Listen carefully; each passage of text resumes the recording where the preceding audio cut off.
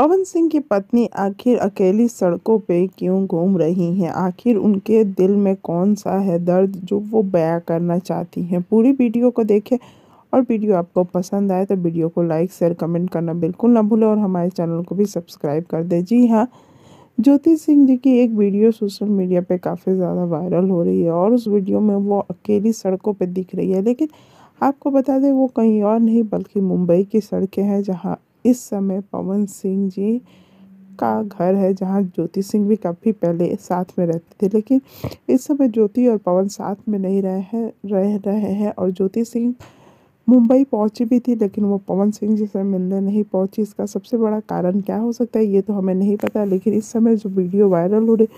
उनके कुछ फैंस बहुत सारे क्वेश्चन कर रहे हैं कोई ये कह रहा है कि आप पवन सिंह जी के साथ वीडियो क्यों नहीं बनाती हैं और कुछ लोगों का मानना है ज्योति सिंह पवन सिंह अलग हो चुके हैं आपको क्या लगता है कमेंट